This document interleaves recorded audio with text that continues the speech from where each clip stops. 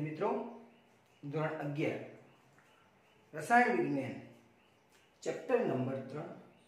તત્વોનું વર્ગીકરણ અને ગુણધર્મોમાં આવર્તિતા. આ ચેપ્ટરના આ વીડિયો લેક્ચરમાં આજે આપણે જોઈશું સમૂહ પ્રમાણે ઇલેક્ટ્રોનીય રચના. ઓકે આજે ઇલેક્ટ્રોનિક કન્ફિગ્યુરેશન છે, એ આપણે સમૂહ પ્રમાણે એટલે કે ગ્રુપ વાઇઝ જોવાના છીએ. ઓકે અગાઉ આપણે આવર્તમાં કેવી રીતે અને સમૂહમાં કેવી રીતે ઇલેક્ટ્રોન ભરાય છે એની ચર્ચા કરી ચૂક્યા છીએ. તો એ જ કન્સેપ્ટના અન્ય એક સુટેબલ એક્ઝામ્પલ સાથે ફરી મળ્યા છીએ. તો જોઈએ સમૂહ પ્રમાણે ઇલેક્ટ્રોનની રચના. પહેલું વિધાન વાંચો કે એક જ સમૂહમાં રહેલા બધા જ તત્વોની બાહ્યતમ કક્ષાની ઇલેક્ટ્રોન રચના સમાન હોય છે. બરાબર છે. ઇલેક્ટ્રોન રચના સમાન હોય છે. પણ કઈ? બાહ્યતમ કક્ષાની. એટલે કે સંયોજકતા કક્ષાની. મતલબ કે નિષ્ક્રિય વાયુની કોર સાથેની જે ઇલેક્ટ્રોન રચના છે, એ ઇલેક્ટ્રોન રચના કેવી હોય છે? સમાન હોય છે. ઓકે. તો આપણે એમ કહીએ છીએ કે જે જે તત્વોની બાહ્યતમ કક્ષાની ઇલેક્ટ્રોન રચના સમાન હોય એમના ગુણધર્મો પણ સમાન હોય અને જે જે તત્વોના ગુણધર્મો સમાન હોય, એમને એક જ ઊભા સ્તંભમાં મૂકી અને સમૂહની રચના કરવામાં આવે છે, જે આપણે જાણીએ છીએ. બરાબર છે?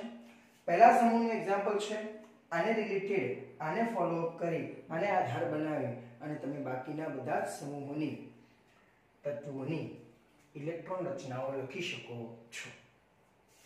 પ્રથમ સમૂહ, એને નામ આલ્કલી ધાતુ આપેલું છે.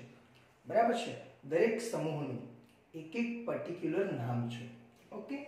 પહેલો સમૂહ છે, આલ્કલી ધાતુઓ છે. હા, આ આલ્કલી ધાતુઓની બાહ્યતમ કક્ષાની ઇલેક્ટ્રોન રચના છે NS1 આખા સમૂહની છે.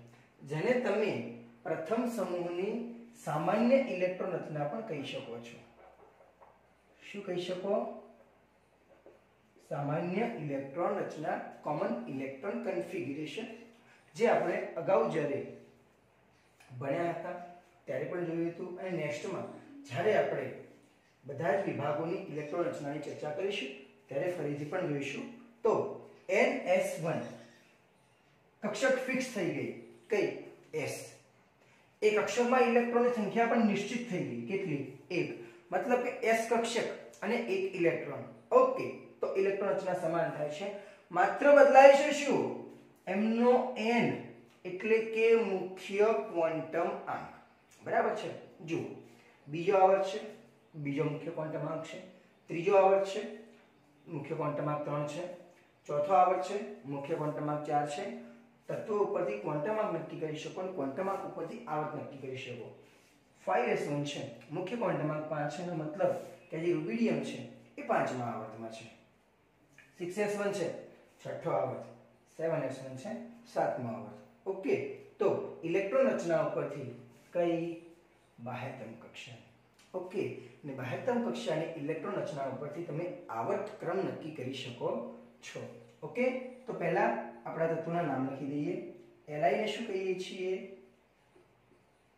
લિથિયમ Na છે. સોડિયમ કે આ છે પોટેશિયમ ઓકે આ ત્રણ નામથી તમે વાકેફ છો. હવે આ ત્રણ નામ જાણતા નથી. એ જોઈએ તો આરબી તત્વનું નામ છે રૂબિડિયમ. પરમાણુ ક્રમાંક છે 37 સીએસ સીઝિયમ છે. 55 નંબરનું તત્વ છે. અને 87 નંબર પરમાણુ ક્રમાંક ધરાવતું તત્વ એફઆર જેનું નામ છે ફ્રાન્સિયમ. ઓકે તો આ થયા તત્વોના નામ. હવે આપણે એમની ઇલેક્ટ્રોન રચનાઓ જોઈએ. પરમાણુ ક્રમાંક 3 ધરાવતા લિથિયમની સંપૂર્ણ ઇલેક્ટ્રોન રચના છે 1s2 2s1 ઓકે, હવે 1s2 સ્ક્રીનશોટ કરી લો પહેલા. ઓકે, તો જુઓ. 1s2 હિલિયમ નિષ્ક્રિય વાયુ મળશે. તો આ છે બાહ્યતમ કક્ષાની ઇલેક્ટ્રોન રચના. મતલબ કે સામાન્ય ઇલેક્ટ્રોન રચના. ઓકે એરો છે, ઉપર લખેલું છે, સમજી લેજો. તો હિલિયમ 2s1 ઓકે બરાબર છે. સોડિયમ અગિયાર. હવે એમ થાય કે સાહેબ, સીધા સોડિયમ કેમ? તો જુઓ. લિથિયમ તમારું કયા આવર્તમાં છે? બીજા આવર્તમાં. ઓકે બીજા આવર્તમાં તત્વોની સંખ્યા કેટલી? આઠ. આઠ પતી જાય. પછી નીચે ઉતરવું પડે કયા આવર્તમાં? ત્રીજા આવર્તમાં. ઓકે તો પહેલા આવર્તમાં કેટલા તત્વો રહેશે? આઠ, ત્રણથી લઈ અને દસ. ઓકે? અગિયારનું તત્વ એ ત્રીજા આવકમાં સ્થાન પામશે. ઓકે? મતલબ કે એ સમૂહમાં ગોઠવાશે. તો અગિયારમું પરમાણુ ક્રમાંક દ્રાવ્ય તત્વ છે સોડિયમ. જેની પેટર્ન જુઓ. One s two two s two two p six three s one છ, બે આઠ અને બે દસ ઇલેક્ટ્રોન એ તમારા નિયોનની પેટર્ન દર્શાવે છે, સાથે થ્રી એસ વન છે. મતલબ કે એની સામાન્ય ઇલેક્ટ્રોન રચના શું થશે? બાહ્યતમ કક્ષાની ઇલેક્ટ્રોન રચના શું થશે? સંયોજકતા કક્ષાની ઇલેક્ટ્રોન રચના શું થશે? નિષ્ક્રિય વાયુની કોર સાથેની ઇલેક્ટ્રોન રચના શું થશે? Neon three s one okay જોતા રહેજો. ઓગણીસ. પોટેશિયમ ત્રીજો આવર્ત છે, આઠ ના હોય અગિયાર અને આઠ. ઓગણીસ. થઈ જશે? ઓકે ઓગણીસ પરમાણુ ક્રમાંક ધરાવતું તત્વ છે પોટેશિયમ સંજ્ઞા છે એની capital K one s two two s two two p six three s two three p six four s one આની સંપૂર્ણ ઇલેક્ટ્રોન રચના છે. આ જે થ્રી પી સિક્સ સુધીની પેટર્ન છે, એ આર્ગોનની કોર છે. ઓકે તો શું કહી શકીએ? Argon core four s one electron રચનાઓ તમને આવડે છે. માત્ર તમારે કાળજી શું રાખવાની છે? આઉફ બાઉના નિયમનું પાલન. મતલબ કે એક કક્ષક ભણાયા પછી બીજી કઈ કક્ષક પસંદ કરવી. ધ્યાન રાખો કે કોઈ કક્ષક આડી અવળી ના લખાઈ જાય. સાડત્રીસ. ઓગણીસમાં કેટલા નાખો તો સાડત્રીસ થાય? અઢાર. અને સાચું છે, કેમ કે આ તમારો કયો આવર્ત છે ખબર પડતી નથી. અહીંયા ધ્યાન કેન્દ્રિત કરો. કેટલો છે મુખ્ય ક્વોન્ટમ ચાર. તો ચોથો આવર્ત છે. હવે કયા આવર્તમાં આવે? પાંચમાં. તો ચોથા આવર્તમાં તત્વોની સંખ્યા કેટલી? અઢાર. નાખો ઓગણીસમાં. થઈ જશે? ઓકે. તો સાડત્રીસ પરમાણુ ક્રમાંક ધરાવતું તત્વ છે રૂબિડિયમ પ્રથમ સમૂહમાં તત્વ છે. પેટર્ન એની બરાબર જુઓ.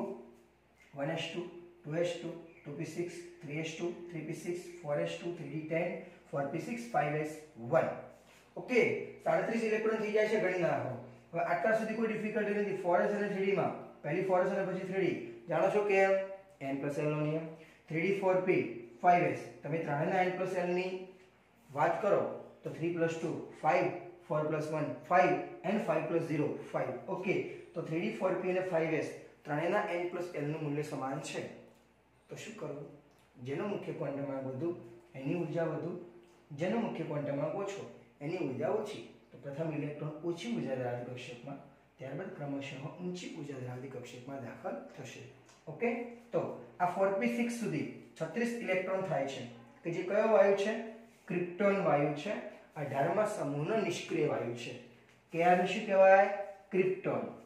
Five s one okay બરાબર છે. તો ફાઈવ એસ વન સાથે મુખ્ય ક્વોન્ટમાંક પાંચ છે. જે દર્શાવે છે કે રૂબિડિયમ એ પાંચમા આવર્તનું તત્વ છે. ઓકે પંચાવન. કેમ સીધા પંચાવન? તો આ કયો આવર્ત છે? પાંચમો. પતી ગયો. હવે કયા આવર્તમાં આવ્યા? છઠ્ઠા આવર્તમાં. તો પાંચમા આવર્તમાં અઢાર તત્વો. કેટલા?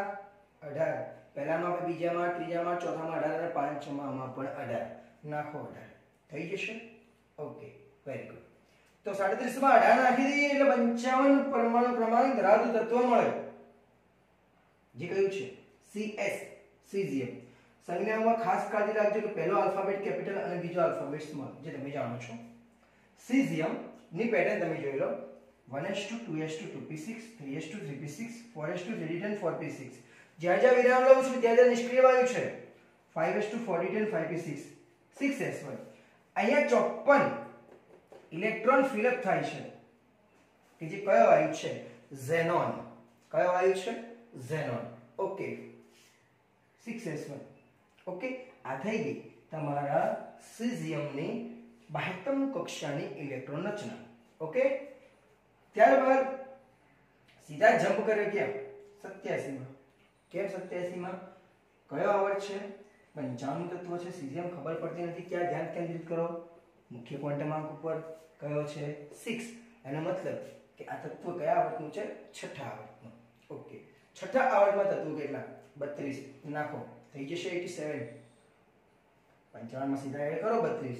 એટલે તમારો સાતમો અને અંતિમ આવર્ત શરૂ થશે. ઓકે તો એટી સેવન પરમાણુ ક્રમાંક સાથે આ તત્વ છે એફ આર જેને ઓળખીશું ફ્રાન્સિયમના નામથી. અને એની પેટર્ન જોઈએ હવે. એની સંપૂર્ણ ઇલેક્ટ્રોન લખવામાં થોડીક કાળજી રાખશું. આટલા સુધી કોઈ ડિફિકલ્ટી નહીં આવે સિક્સ એસ ટુ સુધી જતા રહીએ one s two two s two two p six three s two three p six four s two three ten four p six five s two four ten five p six six s two હવે આટલા સુધી પહોંચ્યા. છપ્પન electron ભરાયા. બરાબર છે very good કેટલા કરવા છે? સત્યાસી. કેટલા ખૂટે છે? એકત્રીસ. કરીએ. તો સિક્સ એસ પછી ત્રણ ઓપ્શન આવશે. ફોર એફ ફાઈવ ડી અને સિક્સ પી પ્લસ નિયમ four plus three seven five plus two seven six plus one seven અને સેવન પ્લસ ઝીરો સેવન મતલબ કે આ four f five d six b અને સેવન એસ આ ચારેય કક્ષકો એવી છે કે જેના એન પ્લસ એનનું મૂલ્ય સમાન છે. તો શું કરવું? લાગુ પાડી દઈએ કે જેનો ક્વોન્ટમાંક વધુ, એની ઊર્જા વધુ. જેનો ક્વોન્ટમાંક ઓછો, એની ઊર્જા ઓછી. પ્રથમ ફોર એફ પછી પાંચ five d six six b અને સાત સેવન એસ એફમાં ચૌદ ભરાશે. છપ્પનમાં નાખ્યા ચૌદ, સિત્તેર થયા. પછી દસ નાખો છો ડીમાં, એંસી થયા. છ નાખો છો સિક્સ પીમાં છ્યાસી. અને સત્યાસીમો ઇલેક્ટ્રોન આવશે સેવન એસમાં. તો આ થઈ ગઈ તમારા ફ્રાન્સિયમની સંપૂર્ણ ઇલેક્ટ્રોન રચના. Okay R N seven s one મતલબ કે આટલા સુધીની પેટર્ન જે છે, એ રેડોનની છે. તમારો નિષ્ક્રિય વાયુ છે. ઓકે તો રેડોન સેવન એસ વન કે જે શું બને છે? એટી સેવન ફ્રાન્સિયમની સામાન્ય ઇલેક્ટ્રોન રચના. તો તમે જોઈ શકો છો કે helium two s one neon three s one argon four s one krypton five s one xenon six s one અને રેડોન સેવન એસ વન નિષ્ક્રિય વાયુની કોર સાથે માત્ર બદલાય છે શું? મુખ્ય ક્વોન્ટમાંક બાકી એસ વન પેટર્ન કેવી છે? સમાન. માટે સામાન્ય લેખ રચના શું આપી છે? N s one. અને આ તમે બાહ્યતમ કક્ષાની સામાન્ય લેખ રચના સમાન લખો. એનો મતલબ કે એમના ભૌતિક અને રાસાયણિક ગુણધર્મો કેવા ગણાય? સમાન. અને જો ભૌતિક અને રાસાયણિક ગુણધર્મો સમાન છે, તો એમને એક જ સમૂહમાં ભેગા કરી અને એક સરસ મજાનો સ્તંભ રચી શકાય છે. જેને આપણે સમૂહના નામથી ઓળખીએ છીએ. ઓકે? તો પહેલો સમૂહ આવી રીતે રજૂ કર્યો છે. બીજો સમૂહ. આલ્કલાઇન અર્ધધાતુ છે. ચાર આવશે. એક એડ કરવાનો રહે ને તો? ચાર, બાર, વીસ, અડત્રીસ, છપ્પન ને અઠ્યાસી. પેટર્નમાં માત્ર ડિફરન્ટ કેટલો થશે?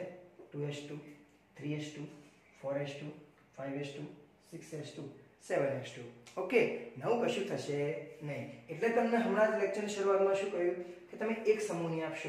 પછી તમે એક એક એડ કરતા જશો. તો તમને પહેલામાંથી બીજો, બીજામાંથી ત્રીજો, ત્રીજામાંથી ચોથો. એમ છે અઢારમાં સમૂહ સુધી તમે ત્યાં. જઈ શકશો. અને અઢારે અઢાર સમૂહોની ઇલેક્ટ્રોન રચનાઓ લખી શકો છો. આમાં એક બીજો સમૂહ આવરી લીધો. કયો? અઢારમો.